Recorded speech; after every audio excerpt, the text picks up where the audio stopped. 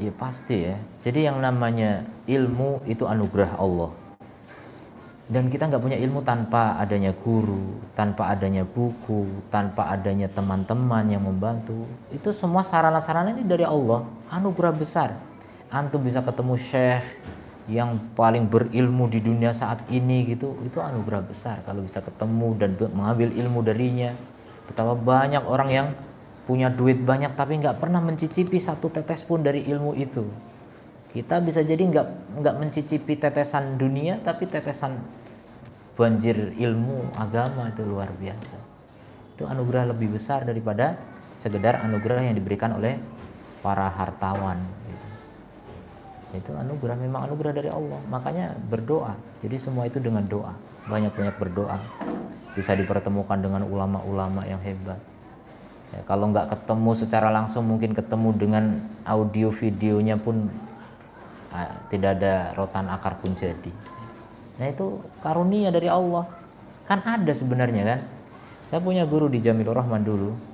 Dia nggak punya biaya, dia tahu, tahu persis. Mendaftar Madinah nggak udah kelewat umurnya. Mau ke Yaman, mau ke mana, mau ke mana. Nggak punya biaya. Akhirnya cuma dia tekuni dari apa kumpulan-kumpulan kajiannya Syekh Utsaimin dipelajari di rumah. Berilmu juga. Jadi muridnya Syekh Utsaimin secara tidak langsung bisa gitu. Akan bisa ngalahkan orang-orang yang keluar negeri. Yang keluar negeri kan kadang-kadang cuma modal bangga-banggaan gitu, oh, udah keluar negeri gitu. Ada yang gelar, ada yang nggak gelar. Kalaupun nggak pakai gelar, gelarnya lulusan luar negeri gitu kan. Itu gelar.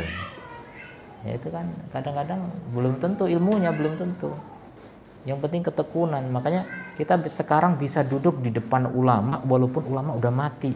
Tuh hari ini bisa gitu. Di zaman dulu nggak terbayang itu kan? Makanya dulu di antara tangisan-tangisan ahli hadis udah dikejar ke sana ke negeri yang jauh menempuh perjalanan berbulan-bulan sampai di sana dapat berita gurunya udah mati yang dia mau ambil ilmunya. Sedihnya bukan main. Ilmunya memang ada murid-muridnya bisa diambil ilmunya tapi kan sanatnya jadi turun gitu loh ya nazil. Itu sedih banget itu. Zaman dulu. Nggak bisa belajar seperti zaman sekarang ya. Sekarang sarana prasarana semakin mudah tapi ya itu kemalasan makin kuat itu himah makin lemah. Beda dengan orang dulu. Kekalahan kita di situ.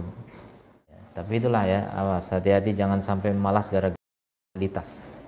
Fasilitas membuat kita malas jadi walaupun antum bisa mendatangkan syekh-syekh besar yang sudah di kuburan antum bisa bangkitkan lagi sekarang gitu. Tapi bukan berarti antum ah udahlah nggak usah ke mana-mana. Tetap barokahnya duduk langsung dengan ulama beda gitu. Duduk langsung itu tetap beda dibanding dengan audio atau video media gitu. Beda, tetap beda. Barokahnya beda. Jadi tetaplah semangat karena bisa jadi sisa-sisa sejarah itu tinggal sedikit ya, untuk menjadi sisa-sisa sejarah. Sejarah kebenaran ya karena ke sejarah kebatilan masih banyak yang melanjutkan masih banyak. Likulli syai' waris. Segala sesuatu itu ada pewarisnya. Kebenaran ada pewarisnya, kebatilan pun ada pewarisnya.